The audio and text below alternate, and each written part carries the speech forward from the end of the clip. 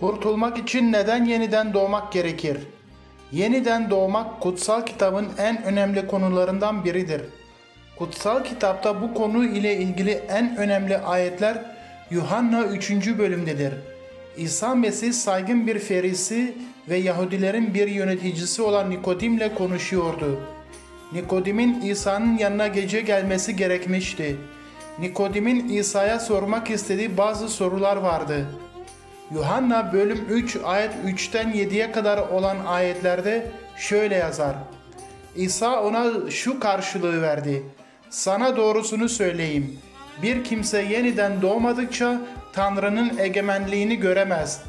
Nikodim, yaşlanmış bir adam nasıl doğabilir? Annesinin rahmine ikinci kez girip doğabilir mi? diye sordu. İsa şöyle yanıt verdi. Sana doğrusunu söyleyeyim. Bir kimse sudan ve ruhtan doğmadıkça Tanrı'nın egemenliğine giremez. Bedenden doğan bedendir. Ruhtan doğan ruhtur. Sana yeniden doğmalısınız dediğime şaşma.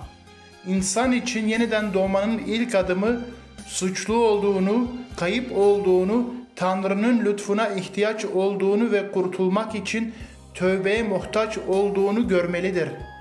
Tövbe ise günahlarını kabullenip ve onlardan dönüp Tanrı ile barışmaktır. Bu nedenle Tanrı bütün insanların tövbe edip ona dönmelerini ve kurtulmalarını ister. Ve şu ayetlerle bütün insanların kendine gelmesi için çağrıda bulunur. Ey bütün yorgunlar ve yükü ağır olanlar! Bana gelin, ben size rahat veririm. Boyunduruğumu yüklenin, benden öğrenin. Çünkü ben yumuşak huylu, alçak gönüllüyüm. Böylece canlarınız rahata kavuşur. Matta bölüm 11 ayet 28 ve 29 Eğer bir insan Tanrı'nın bu çağrısını dinlemez ve red eder ise yeniden doğması için gerekli fırsatı da reddetmiş olur. Yeniden doğmak sözünün harfi anlamı ise yukarıdan doğmak yani kutsal ruhtan doğmaktır. Nikodim'in yüreğinin değişmesine, ruhsal bir değişime gerçekten ihtiyacı vardı. Yeni doğuş, yeniden doğmak Tanrı'nın bir etkinliğidir. Ve bu etkinlik aracılığıyla iman eden kişiye sonsuz yaşam verilir. Bir bebek nasıl ki ilk olarak Adem'in tabiatından doğuyorsa, ruhsal olarak gelişmesi ve büyümesi için de Tanrı'dan doğmalıdır. Rab Adem'i topraktan yaratıp ölü bedenine yaşam ruhu verdikten sonra yaşayan bir can oldu. Böylece Tanrı'ya gittiğimizde o tekrar bize kendisinde olan ruhu içimize döker. Ta ki ölülükten yaşama kavuşalım. Böylece yeniden yaratılmış oluyoruz. Bu kişiliğimizi Tanrı Mesih'teki düşünceyle donatıyor. Yani baba ve oğul gelip içimizde yani ruhsal kişiliğimizde oturuyor. Ondan sonra tekrar Tanrı'nın sözünü tutma olanağına sahip olabiliyoruz. Dolayısıyla günahtan dolayı kaybettiğimiz gerçek kişiliğimize kavuşuyoruz. Onu tekrar lütufla geri alabiliyoruz. Bu kişilikle yüce kurtarıcı İsa'yı yüceltebiliyoruz. Bundan sonra mantıklı olarak akla bir insanın neden yeniden doğması gerekir sorusu gelir.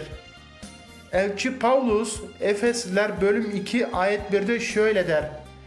Sizler bir zamanlar içinde yaşadığınız suçlardan ve günahlardan ötürü ölüydünüz. Yine Romalılar bölüm 3 ayet 23'te şöyle yazıyor. Çünkü herkes günah işledi ve Tanrı'nın yüceliğinden yoksun kaldı. Öyleyse bir insanın günahlarının bağışlanması ve Tanrı ile iyi bir ilişkiye sahip olabilmesi için yeniden doğması gerekmektedir. Ve eğer bir insan yeniden doğmazsa Tanrı'nın yüzünü yaşam için göremez. Sadece yargılanmak için görecek ve günahlarının karşılığı olan sonsuz azap yerine yani cehenneme gidecektir. Davut kendisi temiz ve yeni bir yürek gerekliliğini anlamış ve bu konu hakkında Mezmur 51 ayet 10'da şöyle diyor. Ey Tanrı temiz bir yürek yarat, yeniden kararlı bir ruh var et içimde. İşte bunun için Hezekiel bölüm 1 ayet 19 ve 20'de Tanrı diyor ki Onlara tek bir yürek vereceğim. İçlerine yeni bir ruh koyacağım. İçlerindeki taş yüreği çıkarıp onlara etten bir yürek vereceğim. O zaman kurallarımı izleyecek, ilkelerime uymaya özen gösterecekler. Onlar halkım olacak, ben de onların tanrısı olacağım. Bu nasıl gerçekleşir? Efesliler bölüm 2 ayet 8 ve 9'da şöyle der. İman yoluyla lütufla kurtuldunuz. Bu sizin başarınız değil Tanrı'nın armağanıdır. Kimsenin övünmemesi için iyi işlerin ödülü değildir. Bir insan kurtulduğunda yeniden doğar. Ruhsal bakımdan yenilenir ve yeniden doğduğundan ötürü Tanrı'nın çocuğu olma hakkına sahip olur. Yeniden doğmak sözünün ruhsal anlamı İsa Mesih'in çarmıhta öldüğü zaman günahların bedelini ödeyen kişi olduğuna güvenmektir. Bu yüzden 2. Korintliler bölüm 5 ayet 17'de diyor ki bir kimse Mesih'teyse yeni yaratıktır. Eski şeyler geçmiş, her şey yeni olmuştur. İnsanlar kiliseye istedikleri kadar gidip gelebilirler. Ama yeniden doğmadıkça hala Rabbin egemenliğine girememişlerdir. Bu bir gerçektir. Eğer kutsal ruhu almamışsak cennete giremeyeceğiz demektir. Hala eski günahlarımızda kalmışsak yargıya gideceğiz demektir. Yargıya giden hiç kimse cennete gidemez. Tanrı'nın karşısında kendimizi savunmanın hiçbir yolu yoktur. Ne yaparsak yapalım onun karşısında haksız çıkacağımız kesindir. Öyleyse cennete gidebilmemizin tek yolu yeniden doğmaktır. Yeniden doğan kişi zaten İsa'nın kanıyla aklanmış olduğu için yargıya gitmez. Böylece ona cennet kapısı açılır.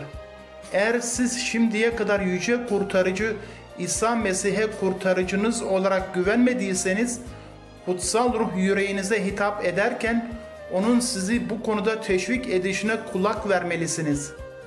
Gerçekten de yeniden doğmaya ihtiyacınız var. Eğer sizde kurtulmak için yeniden doğuşun gerekliliğine kanaat getirdiyseniz, bu tövbe duasını edip bugün siz de Mesih'te yeni bir yaratılışa sahip olabilirsiniz. Yuhanna bölüm 1 ayet 12 ve 13'te şöyle yazar. Kendisini kabul edip adına iman edenlerin hepsine Tanrı'nın çocukları olma hakkını verdi. Onlar ne kandan ne beden ne de insanın isteğinden doğdular. Tersine Tanrı'dan doğdular. Eğer İsa Mesih'i tek kurtarıcınız olarak kabul edip ve sadece ona güveniyor iseniz gerçekten de çok yerinde bir karar verdiniz. Çünkü Elçilerin İşleri bölüm 4 ayet 12'de diyor ki başka hiç kimsede kurtuluş yoktur.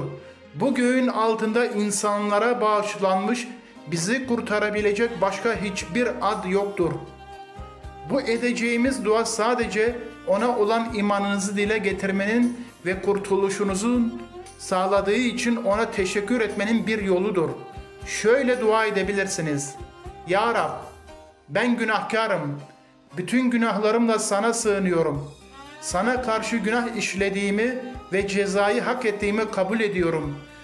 Yüce kurtarıcı İsa Mesih, benim bağışlanabilmem için benim hak ettiğim cezayı kendi üzerine aldı.